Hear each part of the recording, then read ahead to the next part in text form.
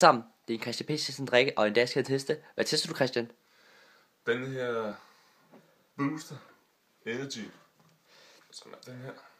Ja, altså jeg har også smagt den, men, øh, jeg kan, men, men Christian kan forklare, Christian forklare, hvad der skete i den video. Kom. Yes.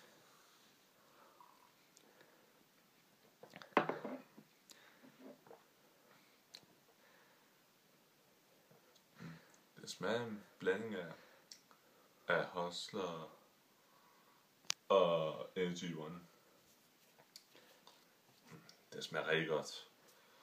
Og øhm, jeg vil bare lige sige, at hvis I skal drikke den her, så skal I helst købe den på flaske, fordi den er meget god på flaske. I forhold til, I øh, forhold til dåse. og hvor mange stjerner giver du den? Fra 1 til 6. Okay, så giver jeg den i hvert fald 6. Fordi jeg har, jeg har aldrig smagt den før, og da jeg smagte den her for, første gang, så tænkte jeg, den er vildt lækker.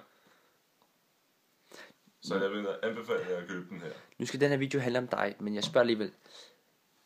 I forhold til standard energidrik, Mm. slår, hvad, hvis du vil standard, for eksempel Red Bull, Hustler, Extra og One, vil du så sige, at den er den bedste?